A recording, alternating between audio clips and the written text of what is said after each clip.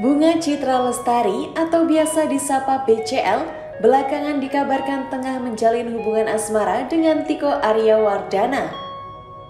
Keduanya bahkan diduga akan segera melangsungkan pernikahan di Bali.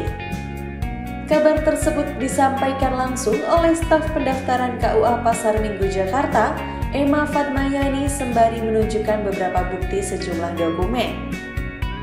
Pihak BCL dikatakan telah mengurus pernikahan di KUA Pasar Minggu, Jakarta.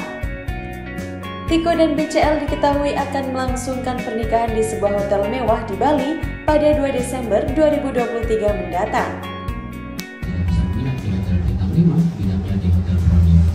Ada yang baru.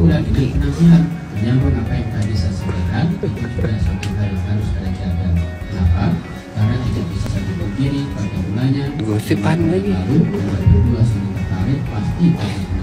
Sosok Tiko pun kini mulai menjadi perhatian publik, terlebih diketahui ia merupakan pria berstatus duda anak tiga. Publik sontak penasaran dengan latar belakang Tiko yang berhasil mengambil hati BCL setelah kepergian sang suami Ashraf Sinclair untuk menjadi istri sekaligus ibu untuk anak-anaknya. Lantas seperti apa sumber kekayaan Tiko Aryawardana, calon suami BCL tersebut? Simak ulasan lengkapnya berikut ini. Tiko Aryawardana dikenal sebagai sosok pekerja keras yang memiliki passion di bidang keuangan, marketing, dan ekonomi sehingga tak heran jika dirinya kini memiliki posisi mentereng. Mengutip dari laman LinkedIn pribadinya, Tiko Aryawardana bekerja di bagian wealth management sebagai ahli pemasaran dan penjualan produk sebuah bank. Tak hanya mempunyai pekerjaan tetap di bank terkemuka, kabarnya Tiko juga membangun bisnis di bidang musik. Kedua pekerjaan tersebut menjadi sumber kekayaan Tiko Aryawardana saat ini. Pria 43 tahun tersebut juga memiliki hobi bermusik dan olahraga. Ia juga gemar melakukan traveling keliling dunia maupun Indonesia.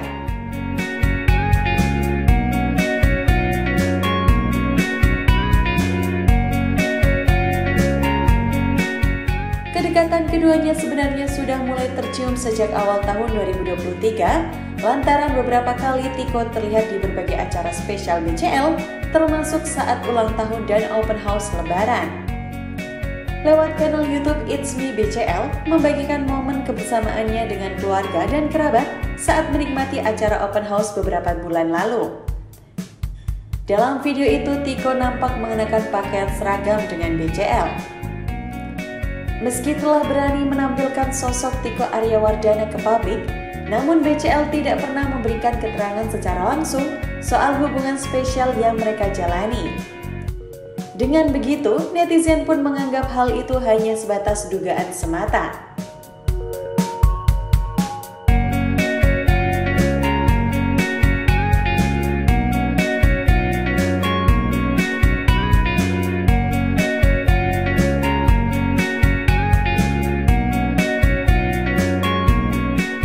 Hingga akhirnya, kini keduanya telah sepakat untuk menikah dan menjadi sepasang suami istri yang sah.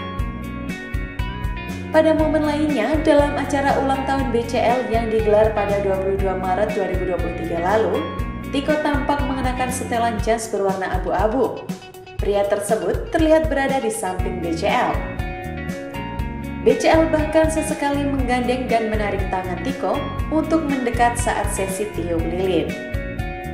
BCL dan Tiko diketahui pernah mengenyam pendidikan di kampus yang sama, yakni Universitas Trisakti.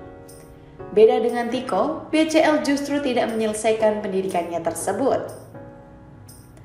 Seperti BCL pula, Tiko juga sempat menikah dengan seorang perempuan.